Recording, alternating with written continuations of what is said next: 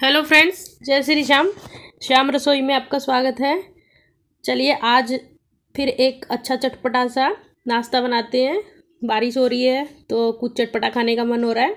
हम बनाएँगे, खाएँगे और थोड़ा सा आपके साथ भी शेयर करेंगे कि कैसे बनाया। बहुत आसान सी रेसिपी है।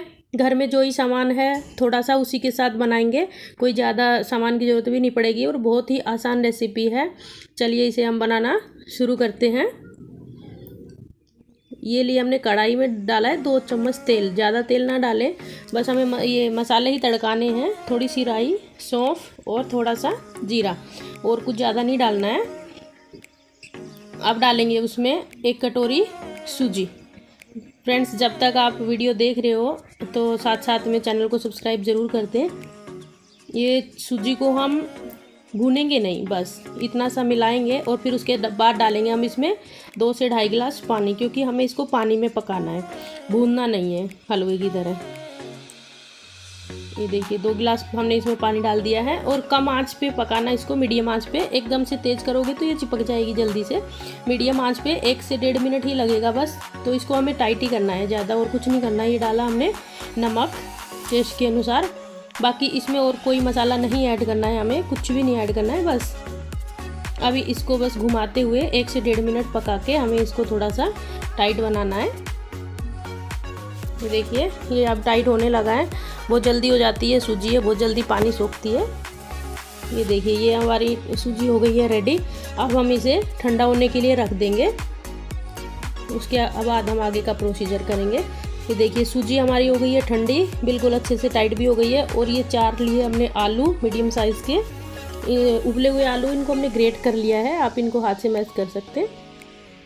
आप डालेंगे इसमें दो चम्मच अरारोट पाउडर अगर आपके पास अरारोट पाउडर नहीं है तो आप कॉर्नफ्लोर या तो चावल का आटा भी यूज़ कर सकते हैं। इससे क्या होता है, थोड़ा क्रंचीनेस आता है अच्छा बढ़िया सा नाश्ते में।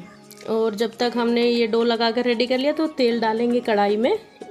और ये जहाँ पे हम इनको बेलेंगे, उस पर भी पटिए पे एक बूंद तेल डाल के उसको भी चिकना कर लेंगे और हाथों को चिकना कर लेंगे ताकि ये हमारे हाथ पे चिपके ना। अब इसमें से लेंगे हम आधा भाग। इसमें क्या है, ध्यान रखना, पानी का यूज़ बिल्कुल नहीं होता क्योंकि हमारी सूजी भी गिली है और उसके बाद में आलू में भी अपना पानी होता है तो इसमें पानी का यूज़ बिल्कुल नहीं होता, बस उनको मिलाना ही रहता है। अगर आपको थोड़ा ज़्यादा गीला लगे तो एक चम्मच एक्स्ट्रा उसमें कॉर्नफ्लोर या तो अरारोट पाउडर डाल लें।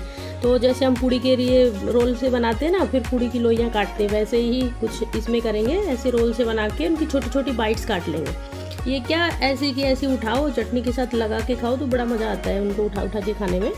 ये हमने काट लिए हैं, उसके बाद थोड़ा सा फोक से, चम्मच से हम इनको दबा के थोड़ा सा हल्का सा डिज़ाइन दे देंगे, बाकी और कुछ नहीं है।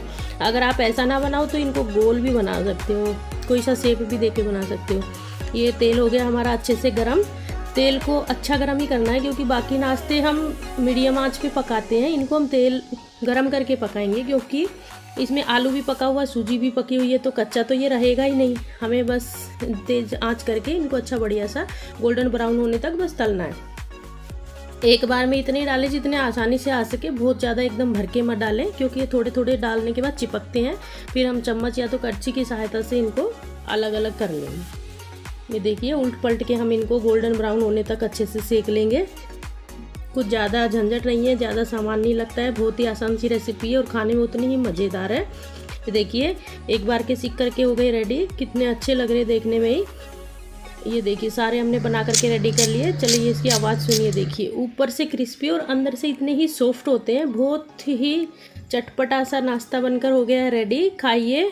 बनाइए और हमारे साथ आपके अनुभव ज़रूर शेयर करें। और हाँ अगर वीडियो हमारी पसंद आए तो सब्सक्राइब करना ना भूलें चैनल को, क्योंकि आने वाली वीडियो की नोटिफिकेशन आपको मिले। जय माता दी, जय श्री श्याम।